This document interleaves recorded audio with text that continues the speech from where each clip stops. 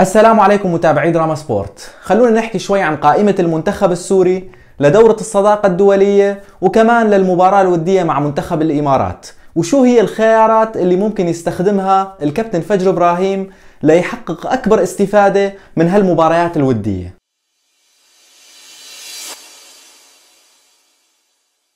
بالبداية لازم نعرف إنه دورة الصداقة الدولية وكمان مباراتنا مع منتخب الإمارات مجرد مباريات ودية ما مهم فيها نفوز بدورة الصداقة أو نفوز على منتخب الإمارات. المهم نشوف أداء مقنع وفكر كروي بالملعب. أي مدرب يجي للمنتخب راح نكون أول الداعمين لهذا المدرب. بس إذا ما شفنا أي فكر جديد وأي طريقة جديدة فأكيد رح نكون أول المنتقدين لهذا المدرب. بشكل عام قائمة المنتخب السوري لدورة الصداقة ولمباراة الإمارات مقنعة نسبيا تم استدعاء أغلب المحترفين مع تحفظي على استدعاء حارسين من نفس النادي وأكيد أي شخص من الجمهور السوري راح يطالب باسم معين واسم ثاني فلذلك ما راح نتفق. خلونا نتفق إنه الكابتن فجر إبراهيم هو بيملك القرار الأول والأخير. مثل ما حكينا تم استدعاء أغلب المحترفين وأغلب اللاعبين أي لاعب إسا ما تم استدعائه لسه في فرصة جديدة لينضم للمنتخب.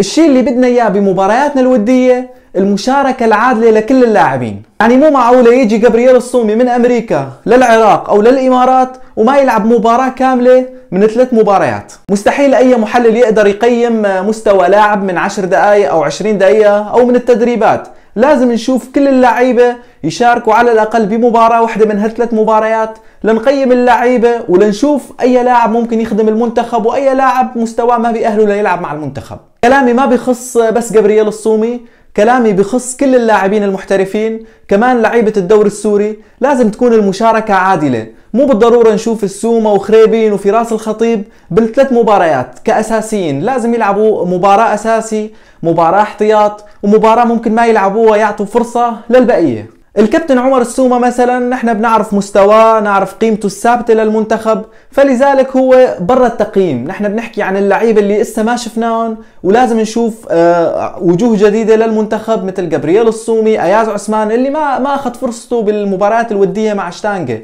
كمان أغلب اللاعبين تبع الدوري السوري لازم نشوفهم عن قرب لازم الكابتن فجر إبراهيم يمنح بعض الدقائق لهاللعيبه المباراة الأولى ممكن تشارك بإبراهيم عالمة، أحمد الصالح، عمرو ميداني، حسين جويد، مؤيد عجان، تامر الحاج محمد، زاهر ميداني، محمد عثمان، محمود المواس، يوسف قلفة وعمر السومة.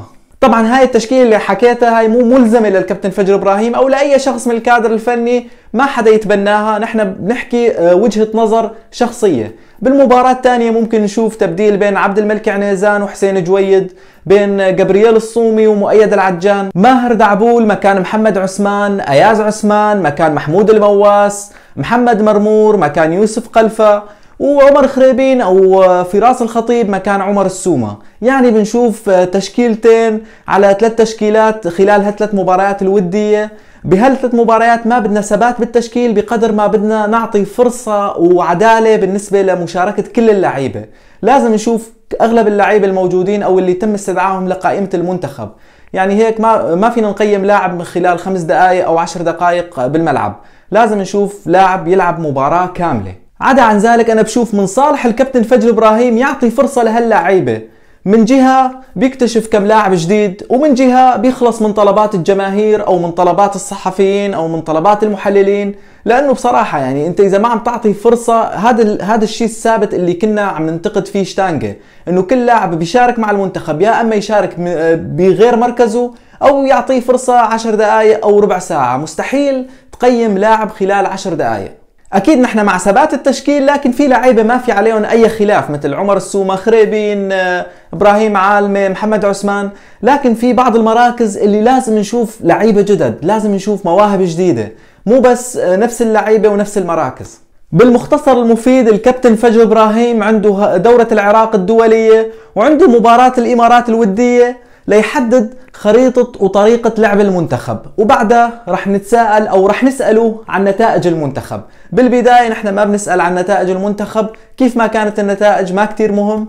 أهم شيء نشوف أداء وطريقة لعب. وممكن نشوف كم لاعب جديد بالمنتخب. بهالثلاث مباريات الودية كل التقييم رح يكون للكابتن فجر إبراهيم. بيجيب أي لاعب بيطرد أي لاعب.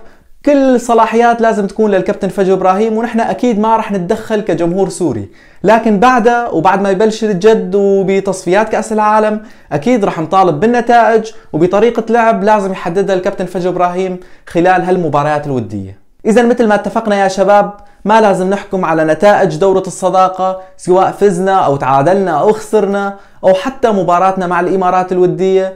لازم نحكم على أداء المنتخب أكثر من النتائج. بخصوص خسارة منتخبنا مع المنتخب الأولمبي هاي خسارة عادية بتصير في تجارب اللعيبة عم يجربوا إسا ما ماخذين على بعض المنتخب الأولمبي أجهز بالوقت الحالي. لذلك لازم ما نركز أكثر شيء على النتائج لازم نركز على طريقة اللعب وهذا الشيء اللي لازم نشوفه بدورة الصداقة وبمباراة الإمارات. وكمان لازم الكابتن فجر إبراهيم يتحمل غلاظة الجمهور السوري اللي شاف الويل بالملحق الآسيوي واللي داق المر بكأس آسيا. بتمنى يعجبكم الفيديو. كونوا بصحة وخير وسلامة.